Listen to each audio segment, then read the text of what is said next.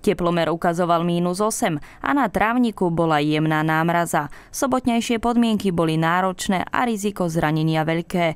Bardiovský obranca Rastislav Švec to pocítil na vlastnej koži. Na tom mieste, kde sa to stalo mne, bolo tam taká jemná prikryvka toho snehu a neviem, neviem, či keby to tam nebolo, by bola situácia iná. Pred zápasom sa cítil veľmi dobre. Nič nenasvedčovalo tomu, čo príde v desiatej minúte. Paradoxne sa mi fakt, že aj na rozcvičke som sa cítil veľmi dobre, aj tých prvých 10 minút proste sa mi hralo dobre, videl som, že ideme odohrať kvalitný zápas a prišlo ten, tá zlomová 10 minúta a všetko sa otočilo. Stred Martina Šariského a Rastislava Šveca sa skončil horšie, ako to vyzeralo.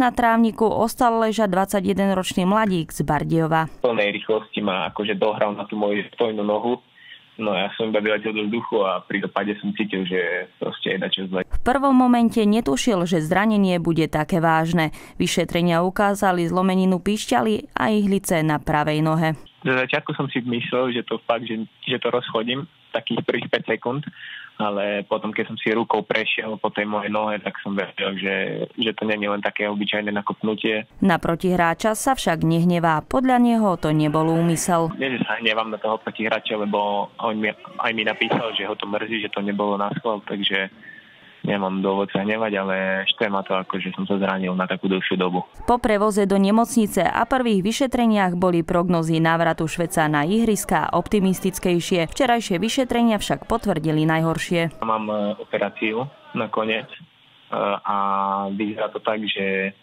minimálne takých 10 týždňov. Bardiovčan by sa chcel na trávnik vrátiť ešte v tejto sezóne. Posledné zápasy by mohol stihnúť, no šance sú minimálne. Šikovný obranca bude po zvyšok sezóny chýbať. Teším sa, že, fakt, že pomôžem chlapcom, že si pomôžeme jeden druhému, ale tak ostáva to na nich a verím, že to, že to zachránime tú druhú ligu.